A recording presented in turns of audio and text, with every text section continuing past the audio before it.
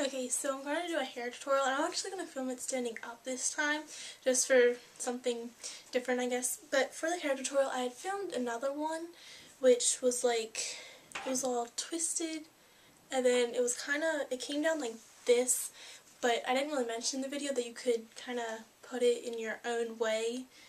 Like, you could put the look into your own kind of hairstyle. But I'll link it right here. I don't know if I already said that, but like the, I'm just going to show you how I can do it with my bangs. So you just need a brush and first I'm actually going to take my hair tie and just pull my hair out of the way so I can get my bangs in the front of my face. And either you can use bobby pins or you can use regular clips like this, which I'm just going to use a clip like this. Um, so I'm just going to pull all of my bangs out like this and brush them so then I'm going to take two pieces. It's kind of like a French braid, but you're using two pieces, but it's not like a fresh tail.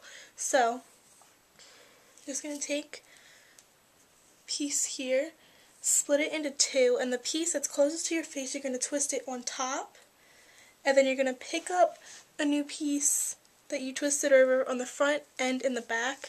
Don't always worry about picking pieces up that are on the back, but as long as you pick them up from the front, so now it's twisted over, I picked up a new piece. I'm going to pick up a new piece again. And the smaller the pieces, the more noticeable the twist is. And then I'm just going to keep twisting it down. And then right when you get to here, if you kind of push it up so it's not so flat, so you can give yourself some volume, and just take your clip and clip it to the side. And then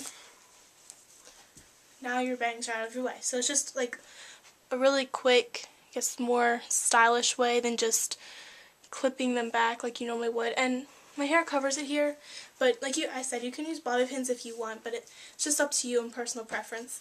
So yeah, I hope you like this tutorial. Thanks for watching. Bye.